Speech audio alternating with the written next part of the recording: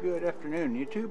This is my garden shed here, and I have the two amorphous solar panels that I initially set up on an angle there. Those are the Harbor Freight panels.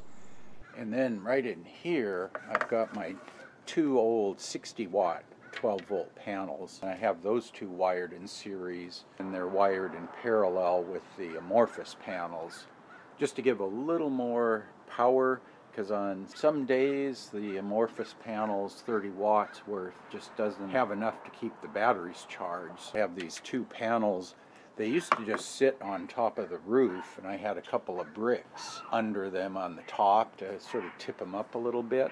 I think the, the wind must buffet the roof a little bit and, and also the panels. They never blew off, but they would gradually work their way down and then I'd have to push them up maybe once a year, push them back up towards the top of the roof pitch. So what I did to uh, fix that was I had a couple of pieces of this unistrut here. This is the low profile unistrut that I used to have on my solar panel rack. So I replaced that and I have these two five foot pieces that are just long enough to span off the roof down here and then they go up over the top of the roof I just put a couple of screws in through the back of the panel. There, there's some slotted holes, drilled some holes in the unistrut, and just held the panels down with those two screws on each panel, and then the panels are joined together. But what I need is something to keep this unistrut from moving around.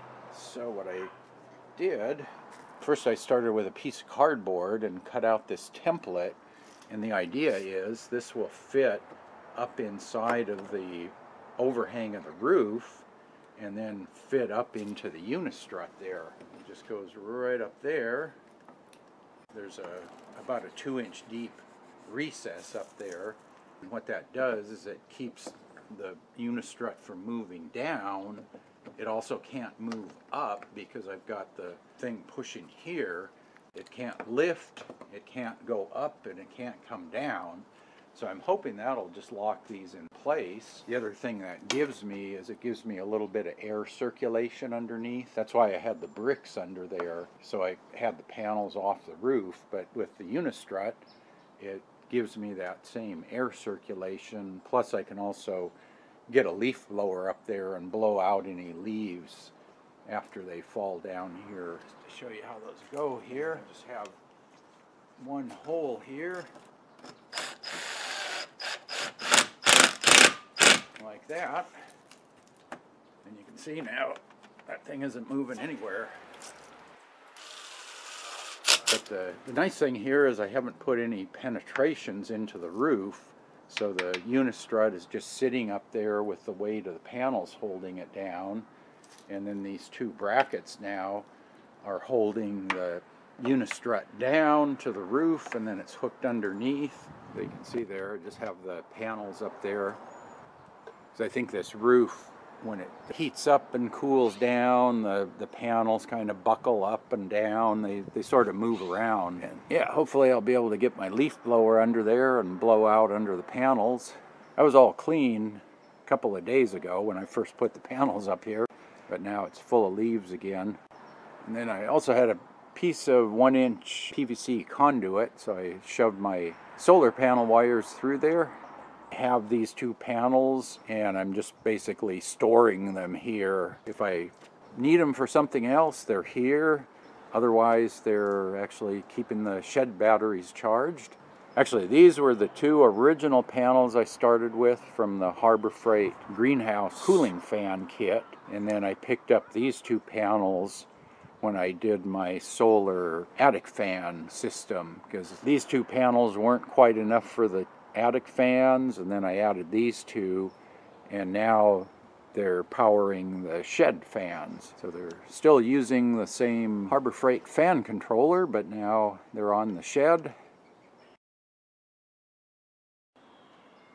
But yeah, I just wanted to give you that quick update on the shed. It's still running, the fans kick on if it warms up enough and it's keeping my garden sprayer and jumpstart pack charged. These panels here don't get a lot of light, maybe from oh probably 11 in the morning until about 3 in the afternoon, so I only get maybe 4 hours here.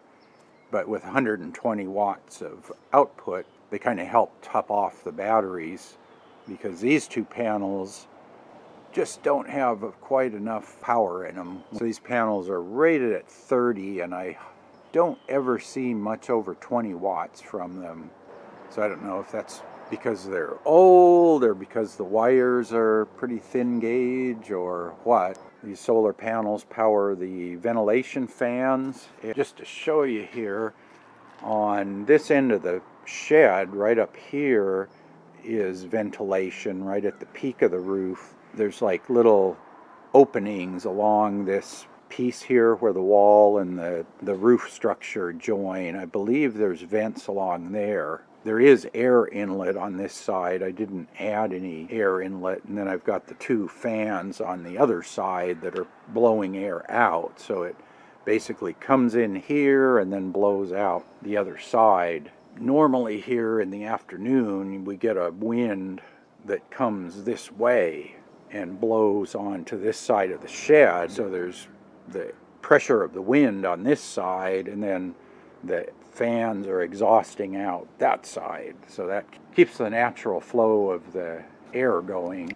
Yeah, and then here's the fans, one on each side, and they're running today. There's air coming out. Haven't had any problem with them. They are still working.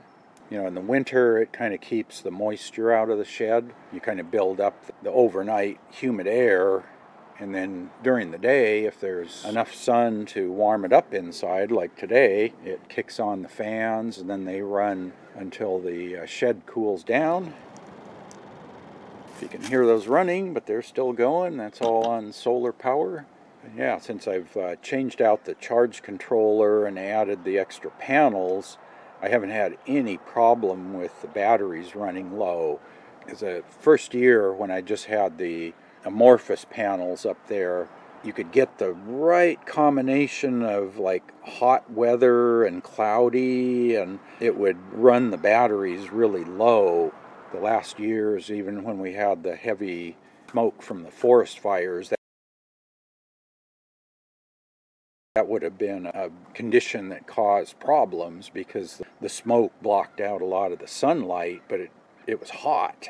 There was no problem with these. They kept the battery on float charge even through the heavy smoke and all I had to do was come out and hose off the panels here. They got a little bit dirty with all that smoke and ash and whatnot. But other than that, yeah, the shed's been working fine. So finally got a chance to test the solar panels, make sure the new mount works. And last night we had a really high windstorm. It was probably 30, 40 mile an hour winds and the wind direction was coming in like that direction pretty much head on to the panels and they did not move a bit. Anyway, just wanted to give you a, a real world update on the brackets. They seem to work. There was uh, just some scrap wood to make them and a couple of leftover pieces of Unistrut. Makes a pretty nice little mount if you want to mount panels on one of these plastic garden sheds. That's a pretty easy way to do it. I think that's going to work. So anyway, if you have any questions about that, post up in the comment section below. And as always, thanks for watching.